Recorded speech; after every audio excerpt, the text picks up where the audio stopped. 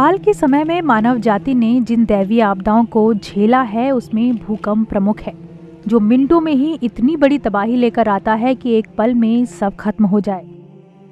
इसलिए दुनिया में ऐसे घर बनाने की कवायद शुरू हो गई है, जो सुंदर और आकर्षक तो हो ही, लेकिन बड़े भूकंप को सहने की क्षमता भी रखते हों।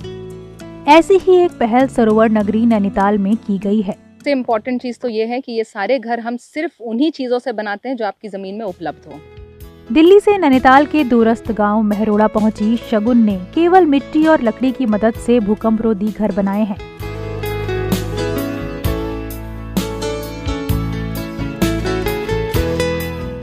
ये घर देखने में जितने आकर्षक हैं, उतने ही मज़बूत भी। अगर आपके मौसम आपका मौसम ऐसा है कि बाहर बहुत ज़्यादा गर्मी होती है तो जब आप ऐसे घर बनाएँगे, मिट्टी के घर बनाएँगे तो अंदर आपका घर ठंडा रहेगा तो आपको एसी की ज़रूरत नहीं पड़ेगी, जो पर्यावरण को नुकसान पहुंचाती है। साल उन्नीस सौ इक्यानवे में उत्तराखंड के उत्तरकाशी ज़िले में आए भयानक भूकंप में भारी तबाही हुई थी। सीमेंट, ईंट और रेत के मकान पूरी तरह से तहस नहस हो गए थे। लेकिन इस भयानक भूकंप में केवल मिट्टी और पत्थर के घर ही सुरक्षित बचे। अब आप ये सोचो कि सौ साल नया एक मटेरियल ने ऐसे हम सबके दिमाग को ख़त्म कर दिया है कि आज की डेट में हमें ये लगता है कि अच्छा जी, सीमेंट के बिना मकान कैसे बनेगा? ये सोचने वाली बात है। सिर्फ़ सौ साल पुराना एक मटेरियल ने नौ हज़ार साल पुरानी तकनीक को मिटा के रख दिया है हमारे दिमाग में।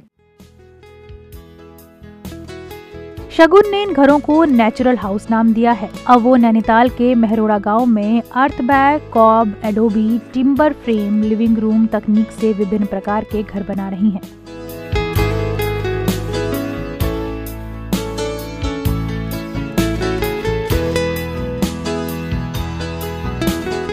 मिट्टी से बने इन घरों को बनाना भी काफ़ी किफायती है। अगर आपका मौसम ऐसा है कि बाहर बहुत ज़्यादा ठंड होती है तो इन घरों में आपको अंदर ठंड नहीं लगेगी आपको इतने सारे हीटर की ज़रूरत नहीं पड़ेगी। यही कारण है कि देश भर के साथ अब विदेशों में भी इन घरों को बनाने की डिमांड बढ़ रही है।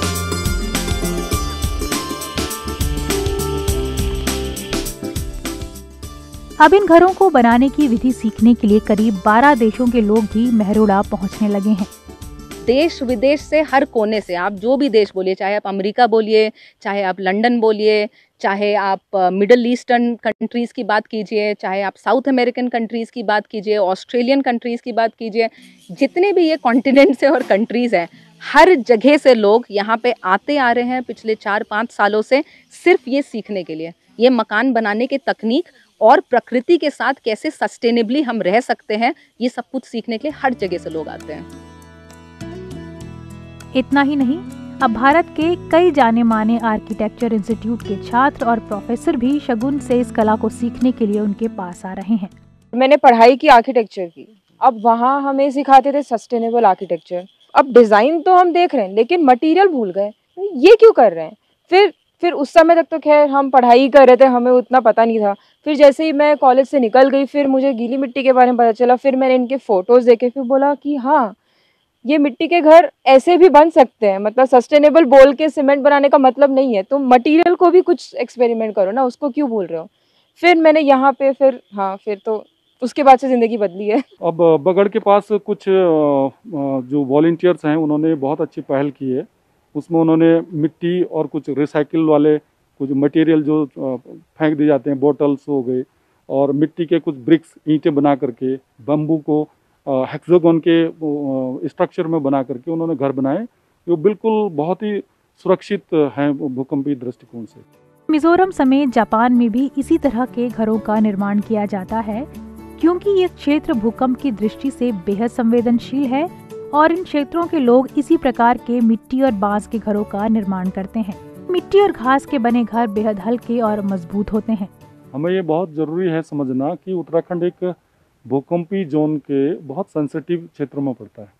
अगर हम भारत के पूरे भूकंपी क्षेत्रों को देखें तो उत्तराखंड जो राज्य है पूरा, वो जो हाई होता है, पांचवा सबसे ज़्यादा हाई माना जाता है सेंसिटिव जोन तो हमारा चौथा और पाँचवें जोन में उत्तराखंड राज्य है। तो कुछ कुछ ज़िले पाँचवें जोन में है, कुछ ज़िले चौथे जोन में, फोर्थ कैटेगरी के जोन में, जो हाई सेंसिटिव है। तो ये इतने संवेदनशील होने के कारण भूकंपी दृष्टिकोण से यहाँ पर जो स्ट्रक्चर जो भवन का निर्माण हो रहा है, वो बहुत ज़्यादा कंक्रीट से और बहुत हैवी बनाया जा रहा है, जो भौगोलिक दृष्टिकोण और भूकंपी दृष्टिकोण से बिल्कुल भी सुरक्षित नहीं है। आज पहाड़ी क्षेत्रों में मैदानी इलाकों की तरह ही लोग ईंट, सीमेंट और कंक्रीट के घर बना रहे हैं, जिससे पहाड़ों की पहचान मिट्टी के इन घरों को लोग अपना नहीं रहे। लेकिन इसी आधुनिक दौर में कुछ युवा ऐसे भी हैं, जो अपनी संस्कृति को बचाने की कोशिश कर रहे हैं। ऐसा ही काम शगुन सिंह कर रही हैं। Bureau report ETV Bharat. चौबीसों घंटे लगातार खबरें देखने के लिए डाउनलोड करें ईटीवी भारत ऐप।